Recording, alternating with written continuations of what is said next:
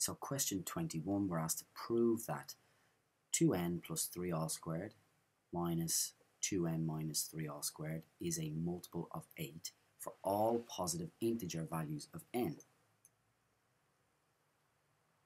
Okay, what I'm going to do is I'm just going to expand out this and tidy it up and then and see where that takes us. So let's just write it down. We've got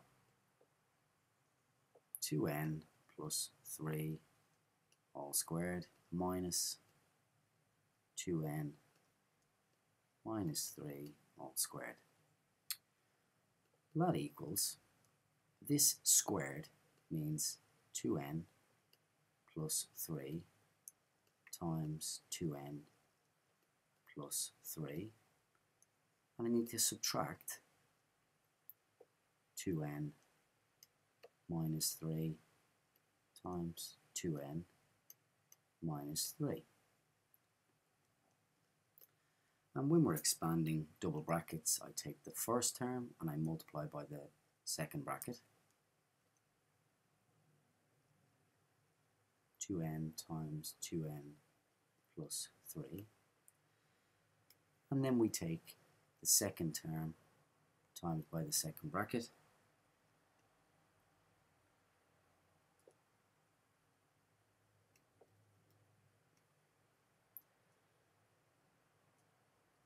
Now, a bit of a tip here.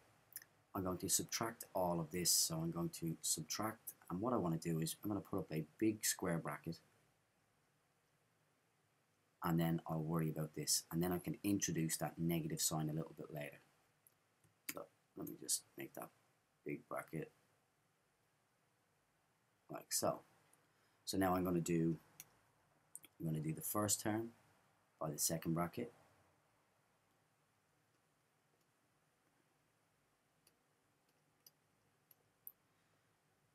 and then do the second term by the second bracket.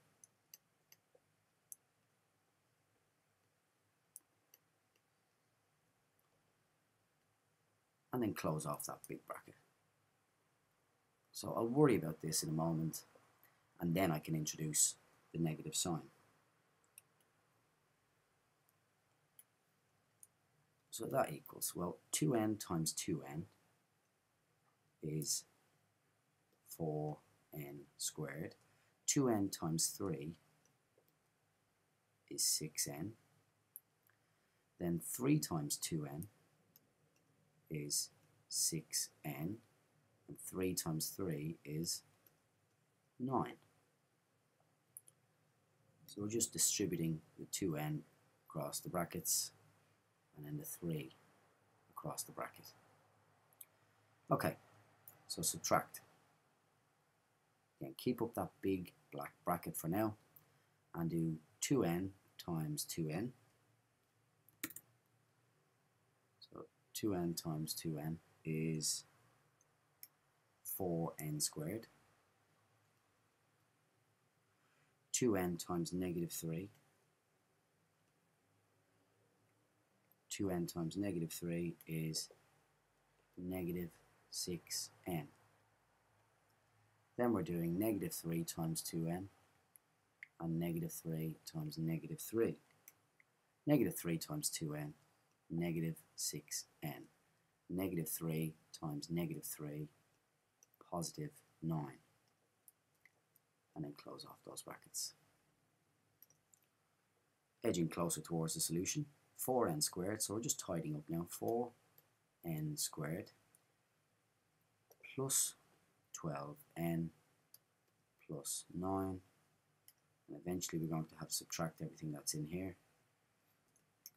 And tidying up what's inside the black brackets we get 4n squared minus 12n plus 9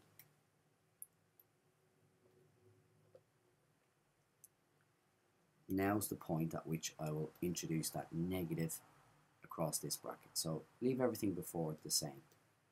So 4n squared plus 12n plus 9. And I'm doing negative all of this, so that's going to be minus 4n squared. Negative times negative is positive. Negative times positive is negative. And now let's collect our like terms together. 4n squared take away 4n squared is 0. They cancel out. 12n plus 12n is 24n. And 9 take away 9 is 0. So we get 24n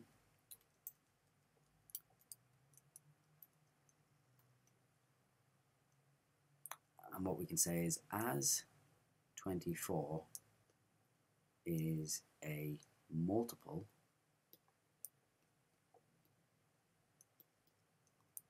of 8 all values are all positive values wasn't it? In fact we're trying to prove that all positive integer values of n all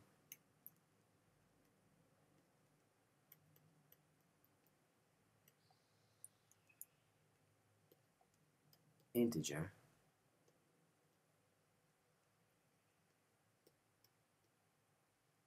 Of n will be a multiple